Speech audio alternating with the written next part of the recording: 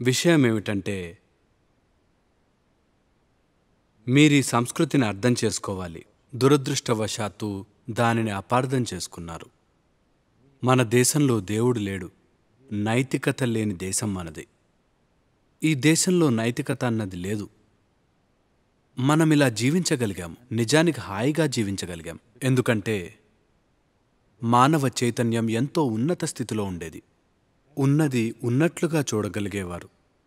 ప్రజలు చైతన్యంతో పనిచేసేవారు. వారిని నడిపింది నీతి నియమం కాదు శిక్ష పడుతుందని భయమూ కాదు జీవించే స్పృహతో ఉండేవారు. అలాంటి ఒక సమాజం ఉండేది కాబట్టే ఎక్కడైనా ఏదైనా నేర్పగలిగేవారు. ఏ సమస్య లేదు. కానీ ఇప్పుడు ఆ పరిస్థితులు లేవు. అది వేరే విషయం. కానీ ఈ సంస్కృతి ఈ దేశం ఇలాగే రూపొందింది. ప్రజలు ఆ స్థితికి తీసుకురావటానికి ఎన్నో వేల సంవత్సరాల పరిశ్రమ పట్టింది. కానీ నెమ్మదిగా అది పూర్తిగా మారిపోతోంది. ఎందుకంటే మనం పాశ్చాత్య నైతికతను అనుసరిస్తున్నాం.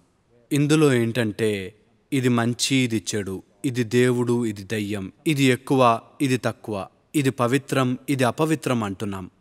మన సంస్కృతులు ఇలాంటివి అసలు లేవు. జీవితాన్ని ఉన్నది ఉన్నట్టుగా చూశాం. జీవితంలో ఏది ఎంతవరకు చేయాలనేది పూర్తిగా వ్యక్తిగతం. మనం ఈ మనసు ప్రవృత్తిని బాగా అర్థం చేసుకున్నాం. మీరు మనసుతో ఇది తప్పు చెయ్యొద్దు ఆలోచించొద్దు అంటే ఇక అదొక ఫుల్ టైం జాబ్ లాగా తయారవుతుంది. మీ స్నేహితులందరికీ. ఎవరికైనా అంతే. దేని గురించైనా ఆలోచించొద్దు అంటే అదే ఆలోచిస్తారు. ఎవరైతే మనసు స్వభావం అర్థం చేసుకోలేదో అలాంటి వారు నైతికతను తీసుకొచ్చారు. మనసును అది ఉన్నత రీతిలో అర్థం చేసుకున్నవారు ఈ సంస్కృతిలో ఇది తప్పు ఇది ఒప్పు అనలేదు. ఏది ఎలా ఉందో చెప్పారంతే. జీవితంలో ఏది ఎంత మోతాదులో అనేది ఎవరిది వారికే వేరుగా ఉంటుంది. ఈ వ్యక్తి ఎంత తింటున్నాడో ఆ వ్యక్తి ఎంత తింటున్నాడో అది వారి వ్యక్తిగతం. కానీ ఇప్పుడు పాశ్చాత్య డాక్టర్లు ఏమంటున్నారంటే అందరూ ఇన్ని క్యాలరీల ఆహారం తీసుకోవాలని. ఇది మూర్ఖత్వం. మానవ శరీరం అలా పనిచేయదు. సరే ఇలా అనుకుందాం. మీరు ఒక కిలో ఆహారం తీసుకున్నారనుకుందాం. ఇద్దరు వ్యక్తులు ఒకే రకమైన ఆహారం తీసుకున్నారనుకుందాం. ఇద్దరి శరీర బరువు ఒకటే అనుకుందాం. అలా అనుకుందాం. ఇద్దరూ కిలో ఆహారం తిన్నారు. ఇద్దరూ ఒకే రకం ఆహారం తిన్నా ఒకేలా ఇమడదు. ఒకరిలో ఆహారం చక్కగా అరుగుతుంది. ఇంకొకరిలో సగమే అరుగుతుంది. Kilogram goes well and they'll still maintain weight. కానీ బరువు అలాగే ఉంటుంది. ఇది నిజం. మీరు ప్రయత్నం చేయండి ఒక పది మందిని తీసుకుని. నిజమిది. కానీ ఇప్పుడు ఏం చెప్తున్నారంటే మూకుమ్మడి సలహా ఇది. తెలుసా? అందరూ ఇన్ని క్యాలరీలు తినండి ఇంత శక్తి లభిస్తుంది అంటున్నారు. ఇది అర్థం లేని విషయం. This is simplistic nonsense. ముఖ్యంగా మీరు ఎవరు అనే వ్యక్తిగత పార్శ్వాన్ని బట్టి చూస్తే వీళ్ళు ఇది చేయాలి వాళ్ళు ఇలా ఉండాలి అనే నైతికత ఎప్పుడూ పనిచేయదు. వేరువేరు వ్యక్తుల అవసరాలు వేరువేరుగా ఉంటాయి. ఈ భూగ్రహం మీద మనం వక్రబుద్ధి గలవారిని తయారు చేసింది ఇలాగే. అది తప్పు దాని గురించి ఆలోచించద్దు అన్నాం. అలా ఉండనిస్తే మర్మవయవాలు మీ శరీరంలో అతి చిన్న భాగాలు మాత్రమే. కానీ ఆ అవయవాల్లో ఉండాల్సిన దాన్ని చాలా సమర్థవంతంగా మనిషి బుర్రలోకి ఎక్కించేశారు. ఇప్పుడు లైంగికత అనేది శరీరంలో కాకుండా మస్తిష్కంలో నిరంతరం తిరుగుతోంది. మీ శరీరంలో ఉంటే అది సహజం మీ బుర్రల్లోకి ఎక్కితే అది రోగం. అవునా? శరీరంలో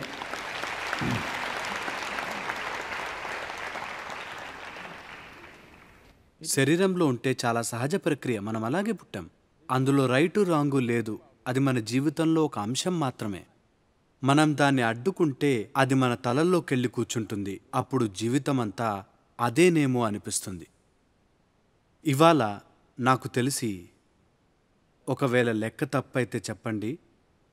దాదాపు తొంభై ఐదు శాతం శక్తిని సెక్స్ లేక డబ్బు మీదనే ఖర్చు చేస్తున్నారు. అవునా కాదా?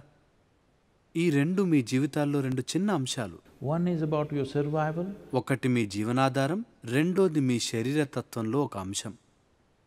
ఇప్పుడది ఎందుకింత పెద్దదైందంటే ఎవరో మీకు ఈ రెండూ తప్పని చెప్పారు. మనమెప్పుడూ దాన్ని అలా చూడలేదు అందుకే దాని గురించి కొందరు గ్రంథాలు రాశారు. అది ఎన్ని రకాలుగా జరుగుతుంది మనుషుల శరీరాలు ఎన్ని రకాలు ఇద్దరు వ్యక్తుల మధ్య అనుకూలత అంతా విషదంగా రాశారు. ఎందుకంటే వాళ్ళు ఆలోచించలేదు ఇది అశ్లీలమని. వాళ్ళకది తప్పని ఎప్పుడు అర్థమైంది కదా? వాళ్ళు జీవితం ఎలా జరుగుతుందో రాశారు. మీకు అర్థమైందా? జీవితం గురించి విషదంగా రాశారంతే. కానీ ఈ రోజుల్లో కామసూత్ర శాస్త్రాన్ని పోర్నోగ్రఫీగా చూస్తుంది. తెలుసా? కాదు అది కాదది.